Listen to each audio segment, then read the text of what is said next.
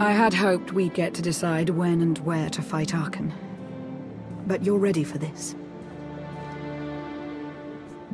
Wish me luck. Luck has nothing to do with it. Arcann may have bested you on Asylum, but Valkorion's training changed you. You're powerful. More powerful than... Lana, you're missing the point. I'm what?